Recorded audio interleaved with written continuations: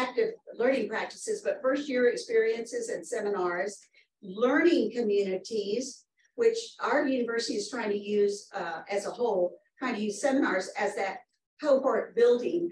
For us, it's much easier because we don't, we bring in maybe 45 to 50 uh, freshmen. And so we put them in one seminar and now we have a cohort. And they're, they're getting the same information from one instructor. Undergraduate research, very important, and then uh, community-based service learning, very, very important. Um, then he also says that the high impact activities and deep learning uh, in the freshman year are the, the items that will yield the best, best um, success for students are learning communities and service learning. And then as you get into the senior years, service learning, giving back somehow is a, a very good uh, uh, activity in terms of they self-report, but this is something that's really going to help that student finish. So, you know, uh, there's a lot of research that says freshman year, difficult to keep them. And junior or senior year, difficult to have them finish, even though they're so, so close to the end because most may have families, most may have uh, this, this um, inflationary period in our society is very difficult on, on minority students, it's difficult on everybody. But uh, for them, it's, it's very difficult. Sometimes they have to take a semester off, come back. So uh, what I noticed when I came, I came in 2009, and uh, after a, two years, I noticed that um, student, we would recruit, you know, February through June, and we get a cohort that were gonna come in. And then June came and they come to our math experience, which was a two week program. And then we wouldn't see them at all until the last week in August where we had our start program. And half of them were gone. They, you know, they're accepted to many schools and they leave in between. And so what we tried to do with the preemptive uh, prelude activities was let's touch them, not physically, but let's touch them uh, so that we keep track of them and help them see the advantages our university will offer and our program will offer. Uh, so that's what we did. And uh, some of the things we have incorporated and with more grant money, we've incorporated extensively. And I'll give you an example. So math preview reviews, so we bring them in uh, to review uh, pre, uh, college algebra, pre-cal, calculus one. And, and we'll have one math instructor do that. And then we will uh, explain that all over again, believe it or not, the hard areas they don't get. And then they'll take a uh, placement exam, a bypass exam. And, you know, she's very good. Uh, Ms. Nakamura's, Professor Nakamura is very good. She, if they are not solid, she will not let them take the test, but, but they're better placed because incoming, they all have calculus for the most part from high schools. And so what do they get placed in? Because we don't take the SAT anymore. I do, but I mean, for our program, we take it, but the general university doesn't take it. So how do they place? Well, they have to take the THEA or the uh, TSI. In Texas, it's called TSI. And so they're going to be put in college algebra, or in some cases, remedial. We actually had a student that's a freshman had a, I don't know, like a 1170 in remedial. And when I saw that, you know, I'm calling the advisor saying, and I'm calling the student and I'm saying to the student, you need to go retest for that TSI because you don't need to be there. You shouldn't be there. And so the she did retest, she did very, very well. And so she got moved into uh, pre-cal or whatever, wherever she needed to be. And the problem is, to some degree, nobody's saying things like this to them because they don't have just 45. They may have a thousand, two hundred that they're bringing in, or maybe bigger universities even more. So who is who is monitoring? Was it they didn't test well, or their SATs weren't high enough, or what is it that we can do to get them up to speed? And not to try to accelerate so much, but to get them where they truly belong in terms of um, possibility or uh, what they do know, right? And then in, in uh, the end of, so that takes two weeks. In the end of June through the end of July, we brought in, we call them research days. And those have, and that was where we would bring them in uh, for about uh, two days each week. And we had 10 to 12 professors open their labs and show them around. They have their undergraduate research student, students do experiments for them. And then we give them pizza, you know, you gotta feed them. And then, and then go to the next two labs. So they do four labs per day. And they do that for a week. Now we since have changed that and we do a summer bridge program because we have money.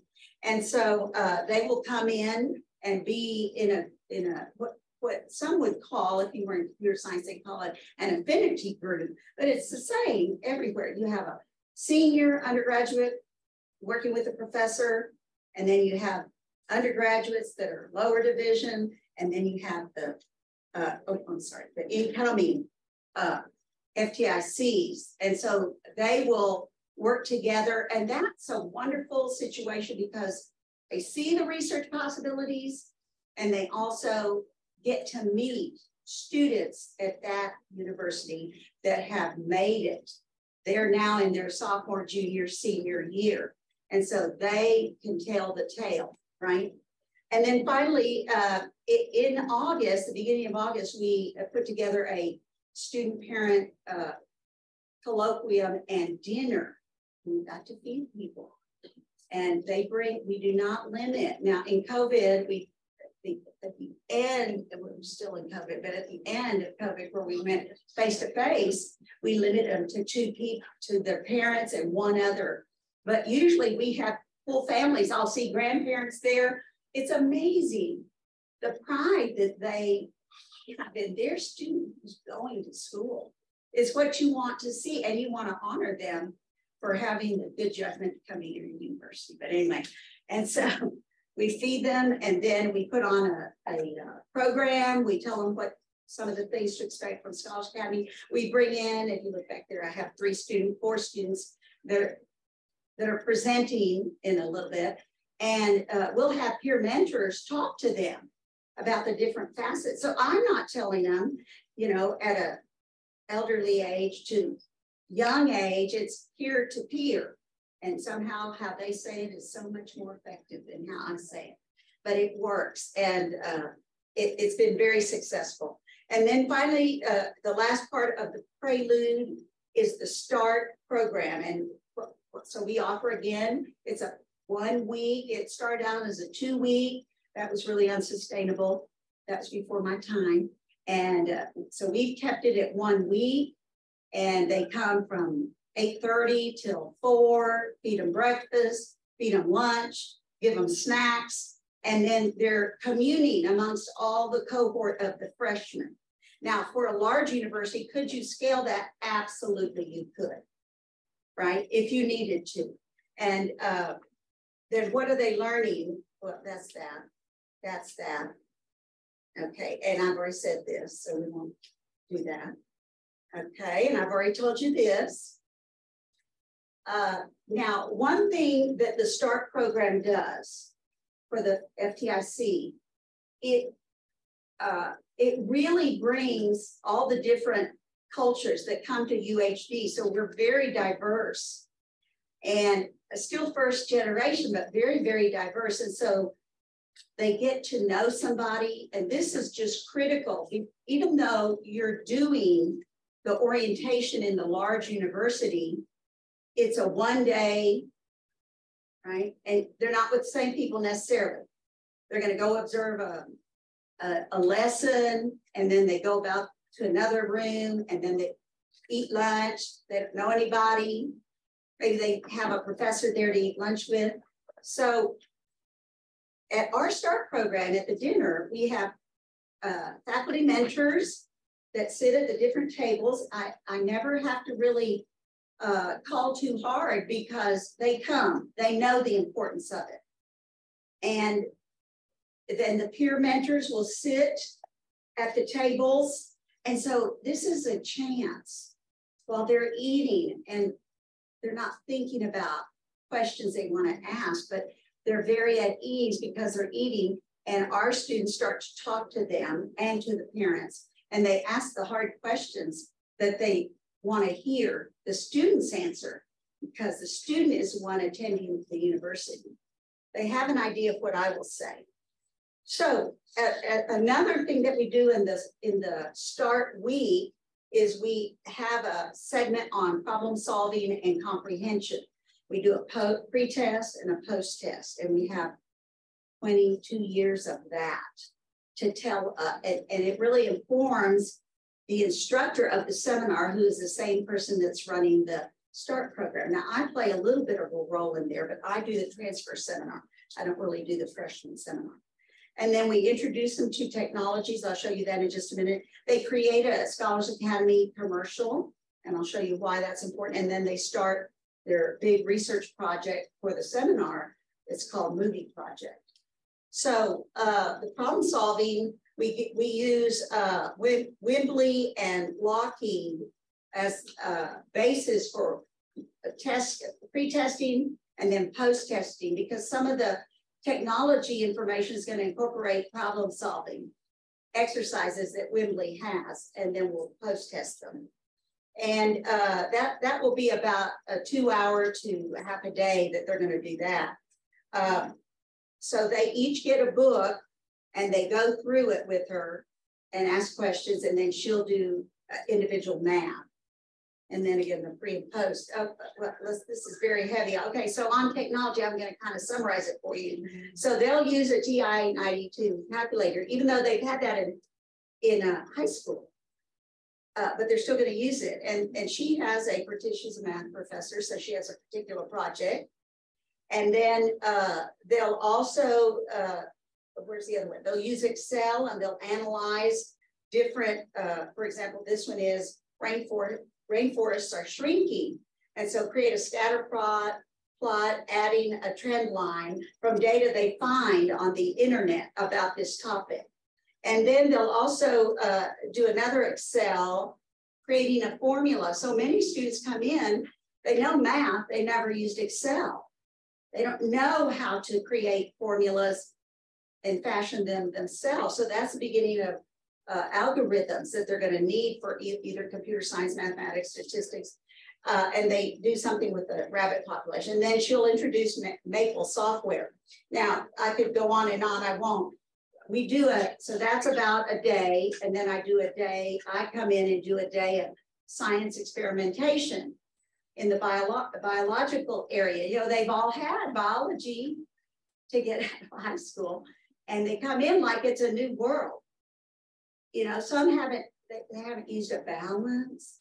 They haven't learned about density in chemistry. They all take chemistry. So it's very incredulous to me, but it's very, it's hands-on. This is also hands-on.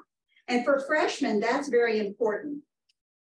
Okay, and then they uh, get, they're in groups, they're put in groups by our uh, Miss Nakamura. And she's from Japan, and she has a wonderful way. She can say things in such a wonderful manner. And so she'll take five words in Japanese and she'll make these the groups. And they'll all get in there and they'll stay in there for that week and then the next semester. Uh, and anyway, they will, decide what movie they want to watch amongst it, I don't know, a thousand that we have. And uh, it's got to be kind of scientific, right? Like Galactica was really was the main one, right? But now it's uh, Robotron or uh, what's that one? They changed the robots change into cars. Yes, you know what it is. Anyway, yes, and so you know the the, the premise is, uh, well, is this possible in real life? And so they don't go into that. They just decide which movie and then write their questions. And then that goes over, flows over into the first semester, first semester they're together. So it's really very effective. So they will at the end, uh, they will go through the whole semester doing research. She'll check. They also have a peer leader that checks, and then they'll uh, put together a poster presentation. So they're working on soft skills. They're working on team building, and they're working on uh, oral presentations. And so she'll critique both of those at different times. Same with the commercial. Okay, and then, okay, we'll go on about that, but they learn about the Scholars Academy as well. So peer-led team learning, how many of you have it at your campus? Anybody? Yeah. Man, that is a powerful tool. I mean, we all have SI, I know that. So peer-led team learning began as a methodology to what we used to call, what we call tutoring. I noticed uh, four years ago, so we had two grants that were paying for uh, support of the trainees in the PLTL method. And we gave them at the end a post uh, leadership um, survey.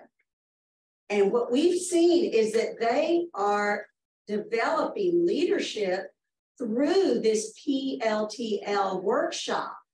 And we can see it because not only are they coming into our leadership stream, they are going into the UHD leadership stream as well. And now if we had more students, we, we'd help more. And we've offered the SI uh, new director, we, we actually invited her to let us, can we do a, a, a session for you?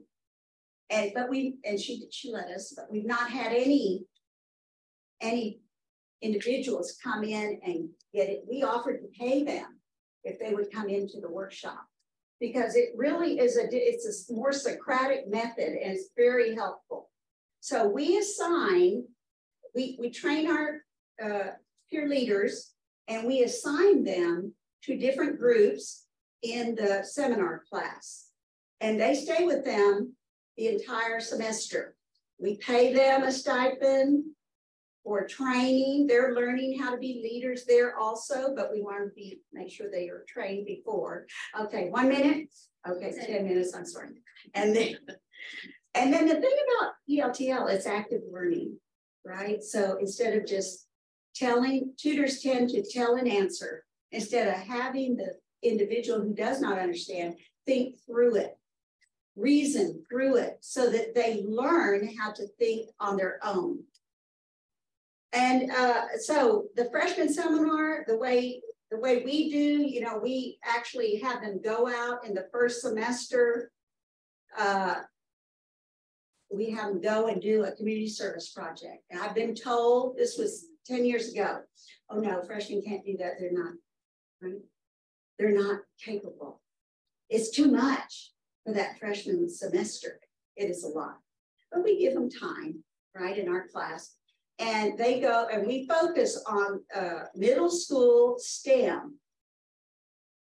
When they're doing, and we go out and we find, they find the middle school age students wherever they can find them. And generally it's a school, but it's not always a school. Sometimes it's boys and girls clubs. And they go and they uh, they put together a matrix of the TEKS, Texas Essential Knowledge and Skills, so that we're not off base so that the teachers or principals that we're going to, the kids are going to say, oh, you thought about this, right?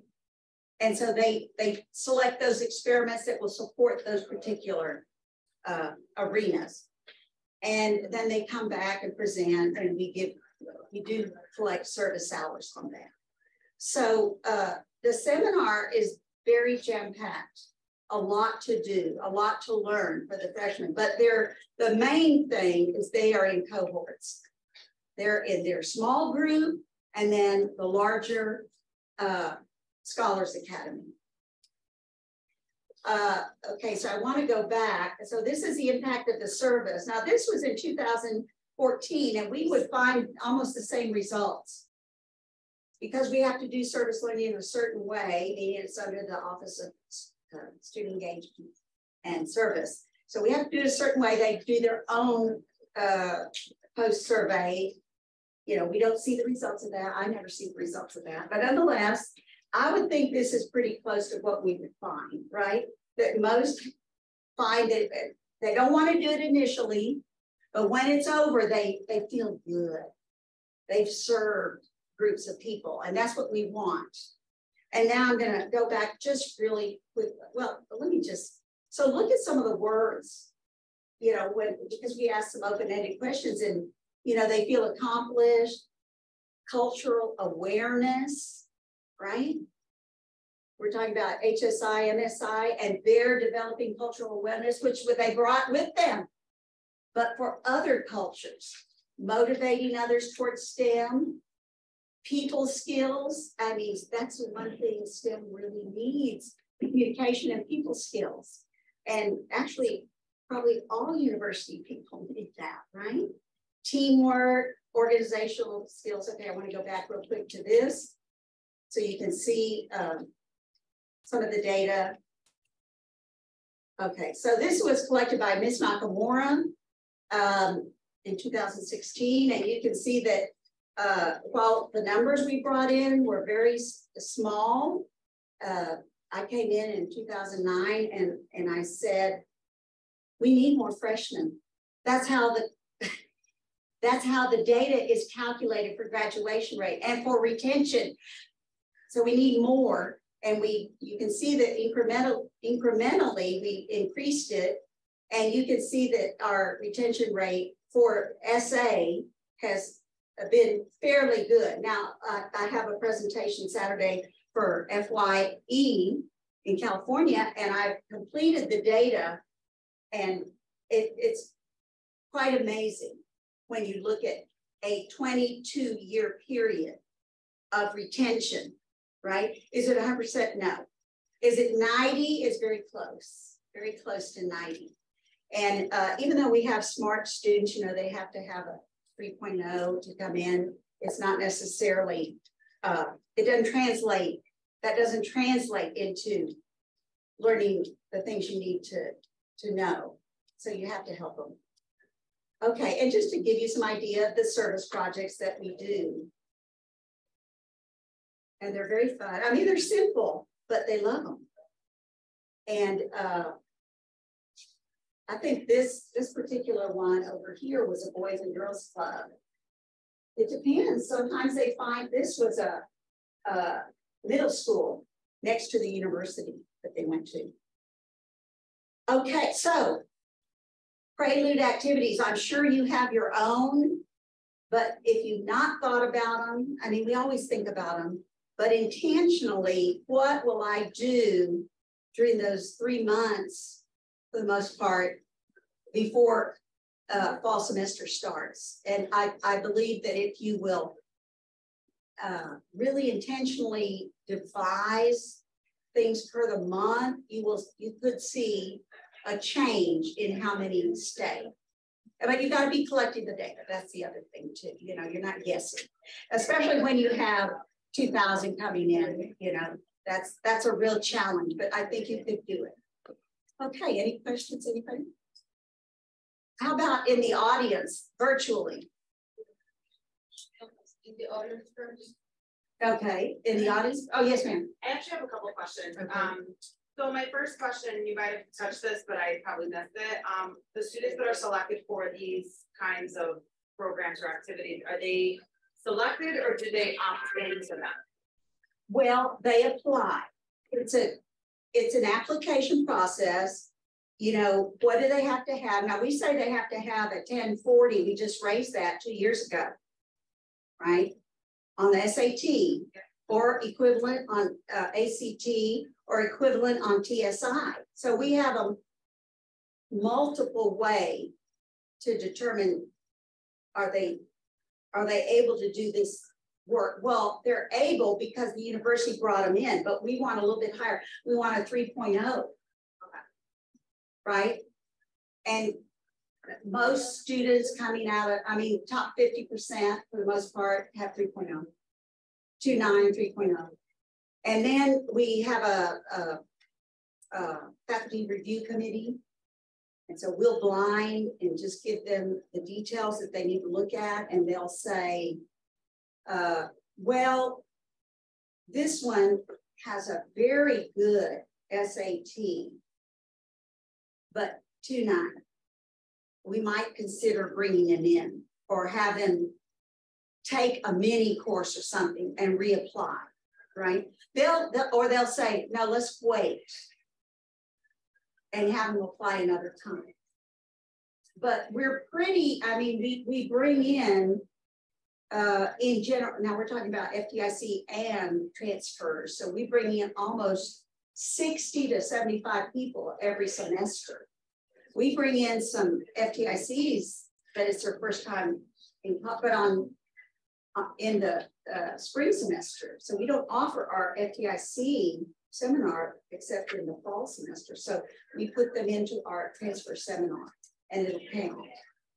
Okay, did I get your question? Yes, you got my question. Then my second question was, when COVID hit, did you see a dip in um students like students interested in the program? And if so, how did you get them re-engaged? Like, how, did you see any effect in engagement with Right, students? well, actually, our enrollment was pretty good because they love online.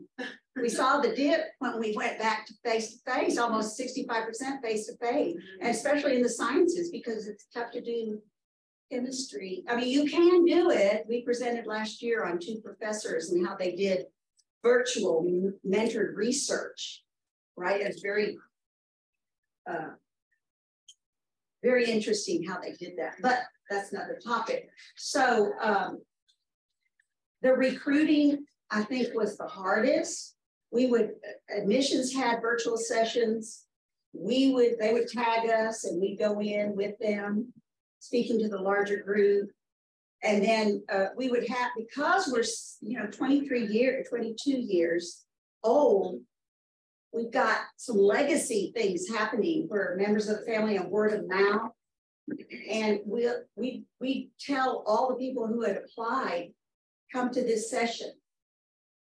Right? If you know people that don't know about, tell them to come to this session so we have multiple sessions. Thank you. Thank you, Mary Jo. This was great. So is your first year seminar a required course for all? It is now. It When is we now, first okay. started, uh, I want to say 2004, 2014, it was not.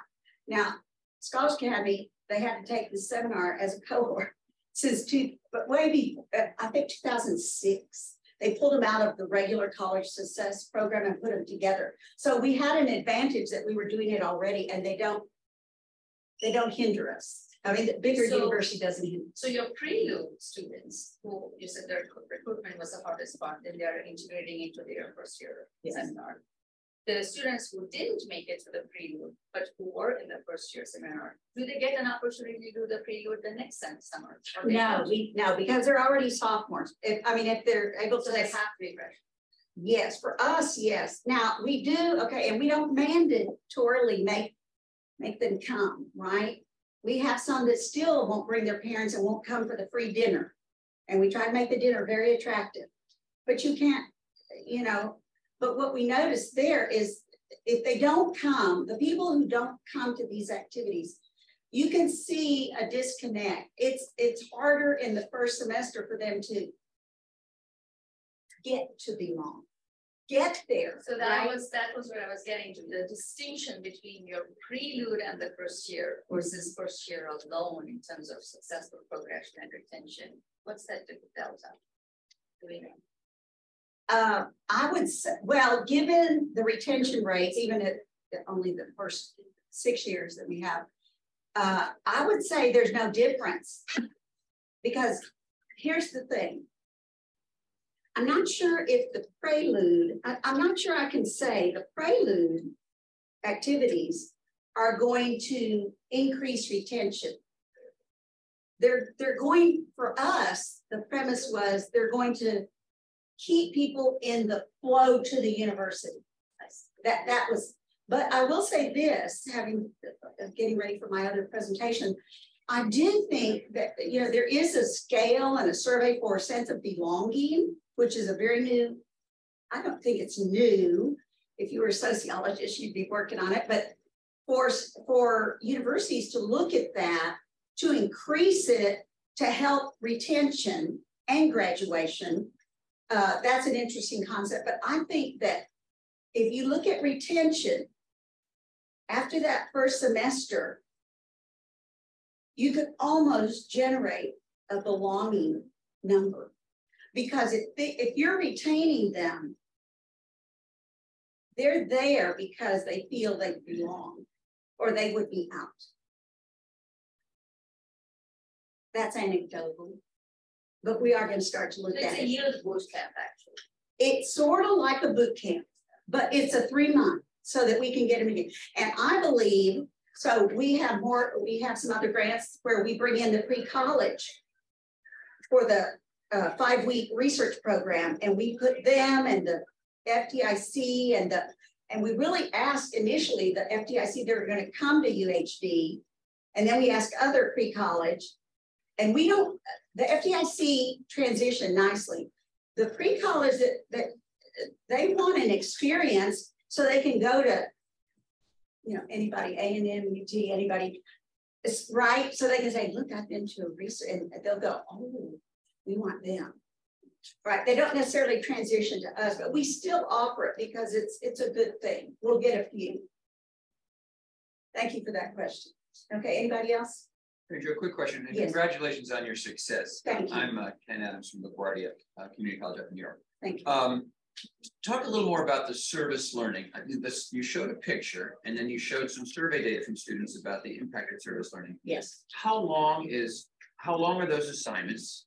And what were the assignments that had the biggest effect on students? Right. You know? Well, I'll tell you what I do in my class sheet because I brought it over to her and I said, the freshman seminar teacher, and I said, okay, I want you to do this. And she was all for it. Uh, but so what I do is, um, you know, you put them in groups. And then I have peer leaders in my course also. And then we say to them, here's the big outcome that we want. We want you to find an entity or two if you need. We want at least 200 to 300 impact. Are you with me? I mean, anybody can do one class with 12 or 24. That's not enough. We want big. And then, uh, then we, we tell them, okay, you brainstorm as a group. Who do you want? Where can you go? Who do you know? It- because it's very hard to get into public schools now and private. And you make them think out of the box with the boys and girls clubs and, and other, you know, Boy Scouts of America and their big jamboree or whatever they, not the one, you know, that's outside the state, but anyway. Uh, and then I and she make them do a matrix of here are the, here are the members, here are the TEKS. So the members read through the, of the group, read through the TEKS uh, the essential knowledge and skills, and we generally do it for science because it's hands-on. I have had groups that just insisted on doing math, and I, okay, I can live with that. Make it hands-on, and and then justify why we're doing what we're doing. Does it fit the T? And then this is a document they have. They don't contact anybody until they have the document approved by me, and say, no, you cannot use acid, hydrochloric acid, no. All the chemists want to take the, you know, tough stuff. So find a way to do it with kitchen chemistry. You can't hurt people. And so they do because they're bright. And then they uh, they start contacting A, B, sometimes C. And some groups get too energetic and they'll contact, you know, you contact this and you contact this and you contact. And I said to them, okay, now by doing this simultaneously, you may have to go to all three places because you cannot let somebody down who says yes, because then you hurt the name of the university. And uh, so they work through all that they have to do. They we purchase all the, the supplies. Everything has to be hands-on. And then they, they go and they're there for three hours. Sometimes it's a STEM night and they get the parents and I, it's a PR piece for UHD and the Scholars Academy. I mean, for me, that's the bang for the buck. But for the students that they're trying to uh, excite about STEM, because it's hand on, hands-on and we do make it, take it where we can, then they really like it. And that's, a- and then I do a post test after that. I hope that answers Yeah, your question to. Thank some you. degree. Thank you. Now, if you all will go, if you have, want more questions about the leadership, how we do leadership, I have at University of New Mexico a mentoring conference, I have several papers that have been accepted and presented, and you can find out more there. And so, uh, you know, we do something on service learning impact, and I'm out of time. Thank y'all, great audience. If you, I, I'll leave my email, and I'm, I'm, you get this, uh, this, uh, uh, presentation, but if you'd like to email me and talk more, uh, and I'm here until late, not late tomorrow, but late.